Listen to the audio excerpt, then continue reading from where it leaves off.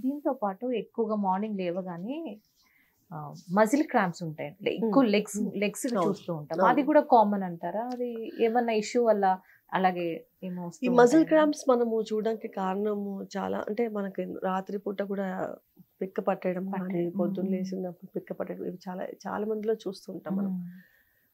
Vitamin D deficiency ఉన్న వాళ్ళకి ఇది చాలా కామన్గా కనిపిస్తూ ఉంటుంది మజిల్ వీక్నెస్ ఉన్న వాళ్ళకి ఆ కండరం ఎక్కువగా వీక్ అయిపోయింది.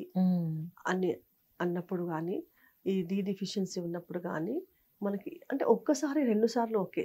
కంటిన్యూస్గా ఇలా వస్తుంది అంటే మాత్రం ఒకసారి డిఫిషియన్సీ టెస్ట్ చేయించుకుంటే మనకి ఒకవేళ డిఫిషియన్సీ ఉంది అంటే మనం ఆ ట్యాబ్లెట్స్ తీసుకోవడం బెటర్ ఓకే.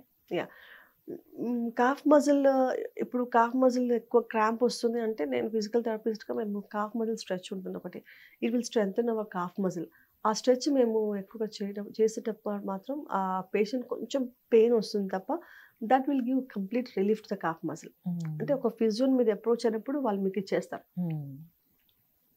అలాంటి ప్రికాషన్స్ తీసుకుంటే better. Once you. Meet therapist you will explain everything అంటే నొప్పి ఉన్నప్పుడే కాకుండా ఎప్పుడో ఒకప్పుడు నొప్పి వస్తుంది అన్నప్పుడు ఒకసారి వెళ్ళి కలిసేసి ఎలాంటి రెమెడీస్ తీసుకోవాలి?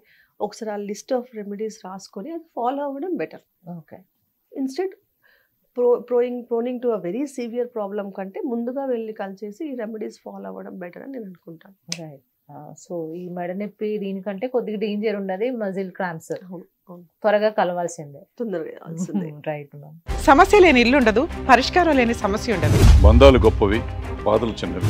మీ సమస్యని మేము పరిష్కరిస్తాం. రండి మాట్లాడుకుందాం.